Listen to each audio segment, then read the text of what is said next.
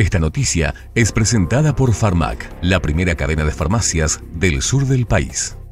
Un accidente de tránsito con derivación fatal se registró el día de ayer en el distrito de Delira. Un hombre que vino de Argentina para pasar la Navidad, desgraciadamente, falleció. En la comisaría 82 ocurrió un accidente de tránsito con derivación fatal a las 8 horas aproximadamente sobre la ruta 6 a la altura del kilómetro 90, eh, jurisdicción de la comisaría 82, donde resultó víctima fatal Cristian Ramón Benítez Jiménez, paraguayo soltero de 27 años de edad, domiciliado en Buenos Aires, República Argentina, en donde estaba guiando un automóvil Chevrolet, Chevrolet eh, modelo Corsa con chapa argentina.